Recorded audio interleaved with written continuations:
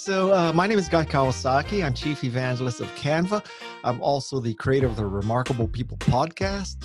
Uh, in my checkered past, I've been a software evangelist and chief evangelist at Apple.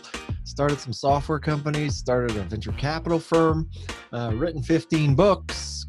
Currently, uh, have a position at the University of New South Wales and the uh, School of Business, uh, Haas School of Business at UC Berkeley.